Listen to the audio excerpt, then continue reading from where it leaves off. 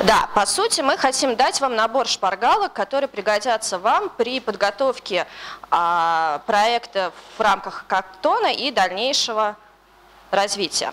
А мы будем часто оперировать скорее термином маркетингом, потому что даже если вы напрямую ничего не продаете, без знания своей целевой аудитории, целеполагания и стратегии, как бы невозможно изменить мир, невозможно поменять какую-то идею и а, отношения людей. А, Во-первых, наша, да, наша презентация будет разделена на три части. Это подготовка, разработка, информационная и главное, что дальше.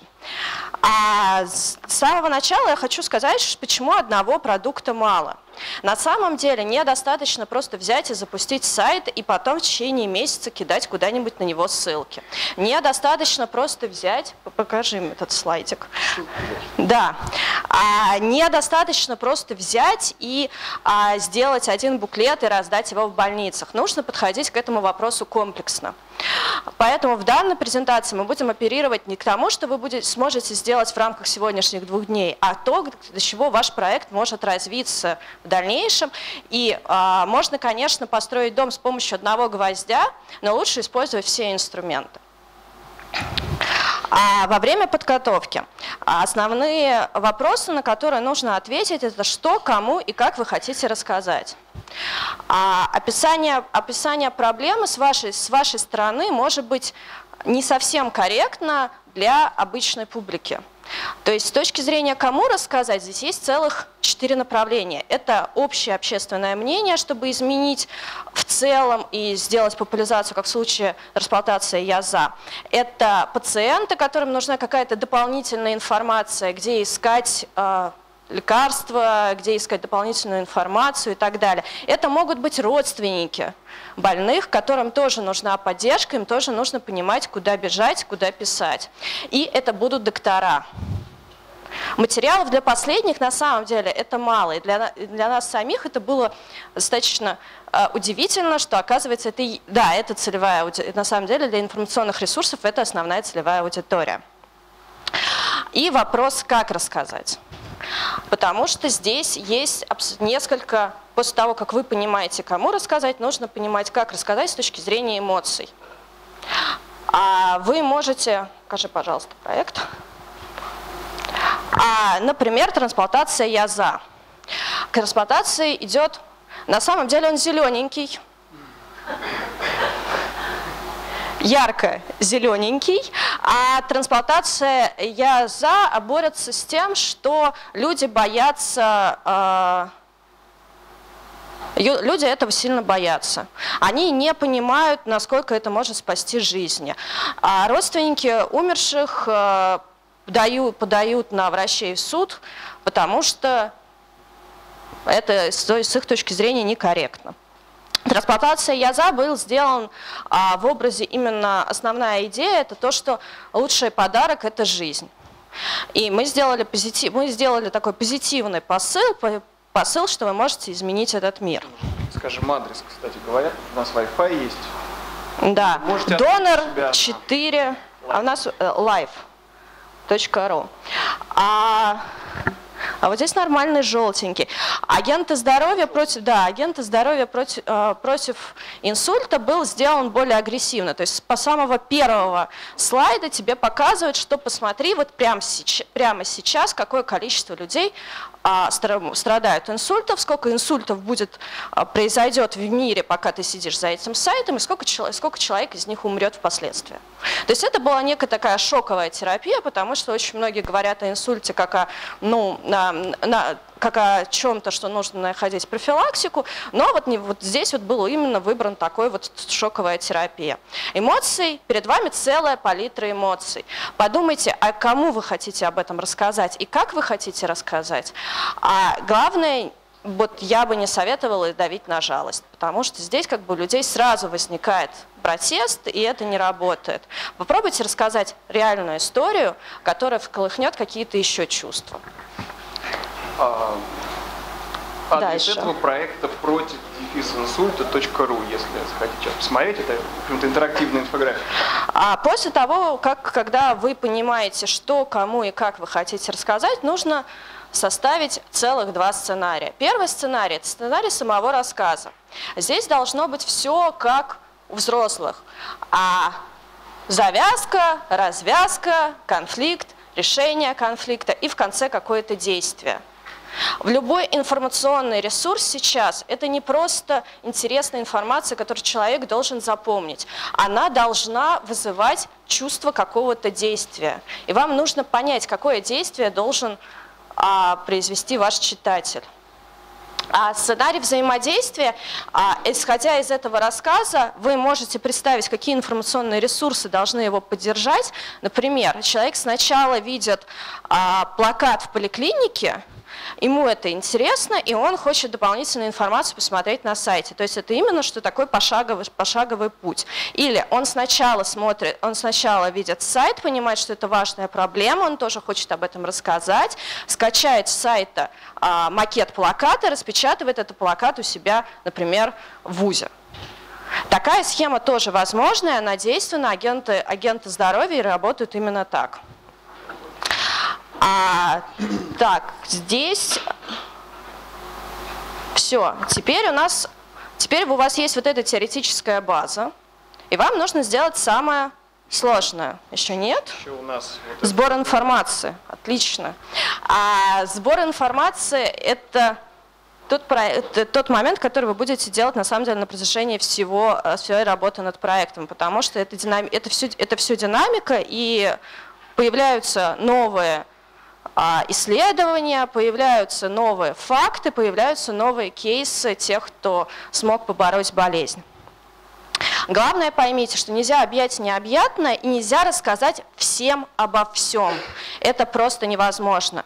Человек может запутаться в большом количестве информации, поэтому выберите именно те факты, которые вы хотите рассказать своей целевой аудитории. Если человеку интересно, он дальше пойдет и, будет, и у него будет вики-трип на несколько часов. И это, это, это очень круто. Но нужно выбрать именно тот пласт информации, который вы хотите донести. И не забудьте ее проверить. А покопайтесь в источниках, покопайтесь в западных источниках и обязательно указывайте эти источники на ваших ресурсах. Это не только хороший тон с точки зрения авторского права, но это еще показывает, что вы не а, берете факты из головы, не придумываете ничего, оперируете к истине. Теперь Наконец-то мы собираем это все в техническое задание. Это достаточно большой документ, где вы описываете глав, все, все эти пункты. То есть, что мы рассказываем, кому мы рассказываем, зачем мы рассказываем, какой у нас план действий, какой у нас план взаимодействия дальше по информационным ресурсам. И передаете разработчикам. Когда вы передаете техническое э, задание разработчикам, не бойтесь того, что вас не поймут, потому что вас не поймут. Мы не понимаем, мы не внутри этой системы. Когда э, я получила первое техническое задание, задание о трансплантации, все, что я знала о трансплантации, было из а, анатомии Грея и доктора Хауса. И для меня это был кошмар и ужас. То есть я начала читать статистику, и как бы первую ночь я ревела. А они будут задавать вам вопросы. Не бойтесь этих вопросов, обсуждайте, потому что именно в диалоге вы сможете составить именно ту стратегию, которая а, будет в дальнейшем работать. И теперь мы переходим к работе. Да, переходим к работе. Поскольку у нас все-таки здесь хакатон, и мы должны за два дня сделать, ну, скажем так, демо, в общем-то, по большому счету, то э, вот сейчас нам нужно всем обратить внимание на процесс проектирования и макетирования. Почему? Потому что вот проект свой описать за два дня можно, можно понять все его э, узловые точки, как мы это будем делать потом, как бы какие нам для этого потребуются люди. Вот смотрите, есть э, достаточно удобная пятиуровневая модель проектирования, и эта модель действует, в общем-то, работает ну, практически для всего. А, как бы модель взята ну, как бы не с головы. А, встречал я ее в, ряде книг и диссертаций, касающихся мультимедийных продуктов, а, веб-сайтов, презентаций и прочее, прочее. Предлагаю ее использовать всем, она простая, понятная. По сути, мы с вами э, спускаемся как бы, вглубь нашего проекта по шагам. Первый шаг проектирования, да, это уровень стратегии. Вот уровень стратегии Э, это то, о чем говорила до этого Мария, когда мы собираем представление у нашей целевой аудитории, что мы хотим сказать, как, как бы составляем сценарий, все это описываем, описываем, описываем, да. Это, скажем так, экспозиция. Вот мы посмотрели, что вокруг нас, поняли, какую задачу мы хотим решить. Окей, дальше мы э, выбрали инструмент, как бы что это будет, игра, сайт, интерактивная инфографика или не интерактивная инфографика. В общем-то, совершенно не важно что, но главное, мы поняли, что это будет. И уяснили себе, что это ну, какая-то не единомоментная вспышка, иначе это не будет работать. Нужно несколько продуктов, которые будут работать в паре. Хорошо, спускаемся на уровень ниже к следующему этапу, да, этапу набора возможностей. Вот здесь э, мы находимся перед ворохом того знания, которое мы хотим дать нашей аудитории – и э, знаем, что это будет, каким будет конечный продукт. Э, значит, на этапе набора возможностей мы, мы думаем, а что пользователь, читатель, ну как бы или пользователь нашего сайта, э, э какие возможности он будет иметь э, во время общения с нашим продуктом. Ну вот как бы, как бы пример. А, это может быть совершенно статичная вещь, которую человек посмотрел, Э, утолил свой голод до какой-то новой информации и забыл. А с другой стороны, в эту интерактивную инфографику можно встроить, скажем, возможность э, проверить себя, пройдя короткий тест, например. Да, это ведь гораздо глубже зацепит человека. Вот э, мы в 2015 год э, встретили большим количеством проектов об инсульте, потому что был год посвященный сердечно-сосудистым заболеваниям. Вот. И многие из э, вот таких информирующих население проектов об инсультах работали именно на том, что давали 4 или 5 признаков инсульта и давали их проверить. Как бы вот там, посмотрите, а нет ли у вас чего. Возможности могут, может, могут быть самые разные, и здесь, кстати говоря, э, не стоит пренебрегать тем, что называется геймификация. Э, сколько бы нам ни было лет, мы любим играть, в той или иной форме. Да? Если игровую составляющую аккуратно внедрить в проект, то хуже ему от этого как бы совершенно не станет. А, значит, обозначив возможности, спускаемся на следующий уровень. Вот теперь у нас есть контент, теперь у нас есть описанный функционал, и мы э, начинаем все это навешивать на некое дерево, на структуру, ну, как бы формируя, собственно, структуру нашего проекта. Э, неважно, что это сайт, э, инфографика или издание. Вообще это называется информационная архитектура. Э, и надо понимать, что в электронном продукте это будет гипертекстовая информационная архитектура. Сейчас я сделаю такой небольшой забег вперед. Вот, к сожалению, не очень видно, но вот это нет, это в интернете нет, это секретная информация, наша с тобой. Вот. А, это скриншот а, из ну, моего рабочего процесса в программе Adobe Illustrator. Смотрите, сайт а, против инсульта это одностраничник, по сути. Да? Ну, казалось бы, что? Это просто длинная такая простыня с кнопочками, буковками и картиночками. На самом деле нет. Это проект со своим сценарием взаимодействия и со, своей, со своим набором э, возможностей и структурой. Вот смотрите, один одностраничный сайт на самом деле из себя представляет раз, два, три, четыре, пять, шесть, но по сути семь, э, семь случаев, семь блоков, которые э, мы разрабатываем. Мы продумываем сайт в разном в разном, там как бы у сайта есть два состояния. До нажатия главной кнопки и после нажатия главной кнопки. Да? Там до нажатия главной кнопки, после нажатия главной кнопки. И это то, как люди будут видеть данный одностраничник на компьютере. То же самое э, для людей с планшетами и этот же контент для людей с телефонами. Вот, да, то есть, по сути, смотрите, это 6, это 6 макетов для одного одностраничного сайта. Плюс сюда же отдельный блок – это поведение меню, кнопок и прочего, прочего, прочего. Да? Казалось бы, одностраничник, но сколько там э, ну, как бы заложено э, сценариев поведения отдельных объектов и всего сайта в целом. Значит, создав структуру, мы переходим к навигации интерфейсу, вот, ну, как раз-таки уже продумываем, э, как наш пользователь будет ориентироваться в нашем продукте. Тут мы не забываем, опять же, для кого мы это делаем, какие у нас есть специфические требования, например. Если у нас слабовидящие, нужно ли, эм, например, э, предусмотреть возможность э, легкого взаимодействия с эм, вот с программами, которые переводят весь ваш текст, ну, как бы на, начитывают для слабовидящих, и, в принципе, какое-то голосовое управление можно подключить. Вот все это на этапе навигации и интерфейса мы продумываем. И потом, вот уже только потом, на пятом шаге, мы с вами доходим до дизайна, да, до макетирования. Начинаем проектировать страницу.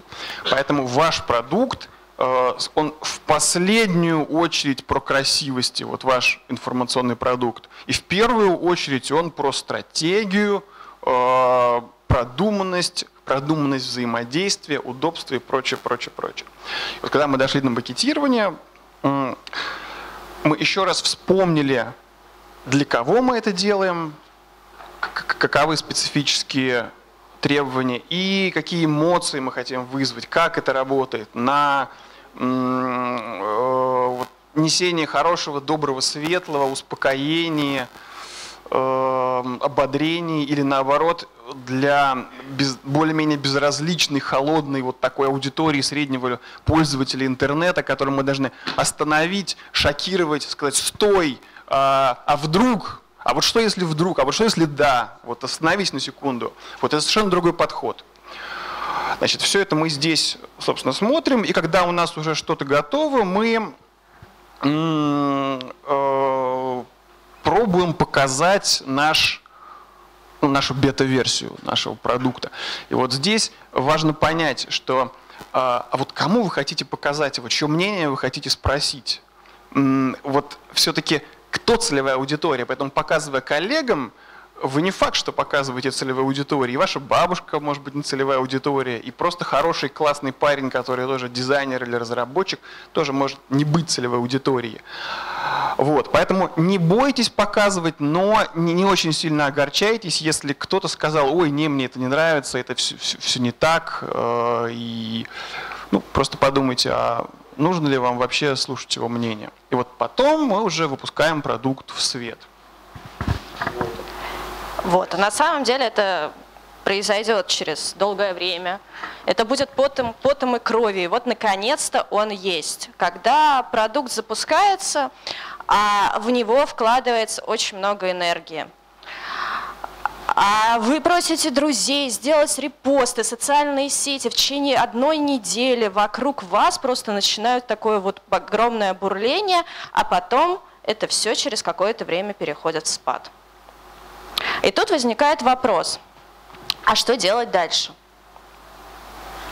Невозможно взять, запустить сайт, какой бы он ни был хороший, красивый, и о нем забыть. Они не могут работать самостоятельно. А, и тут вам нужен еще один план. Это медиаплан и дальнейшее развитие вашего проекта. Продумайте СМИ, с которыми вы можете общаться, которые могут публиковать о вас информацию. А подумайте, как вы будете распространять информацию в социальных сетях. Это нужно делать регулярно, потому что если страничка не обновляется в течение недели, Facebook ее просто может не показывать дальше. Это правда. А вам нужно понять, с кем вы хотите контактировать, кто ваша аудитория, вести с ней диалог. Если вам это некомфортно, вы можете не вести этот, этот диалог и общаться через СМИ, публикацию, ученых и так далее. Но помните, это все развитие. А когда вы будете общаться, вы поймете, что то, что вы сделали на первом этапе, этого недостаточно. И это нормально, это хорошо. И вам нужно будет допиливать этот ресурс, а, делать новые разъяснительные материалы и так далее. А не бойтесь продолжать, не бойтесь продолжать этого диалога, потому что именно а, тогда вы сможете понять, как вы хотите, как вы именно можете изменить отношение к болезни той целевой аудитории, которую вы выбрали. Всегда во время вашего пути вы будете производить а, корректировку целей. Потому что, возможно, то, что вы в самом начале для себя сформулировали, это не совсем корректно. И, может быть, ваша целевая аудитория – это не пациенты, а, например, родственники пациентов, и им сейчас поддержка гораздо важнее, и оказывается, на вашем ресурсе в основном бывают именно они.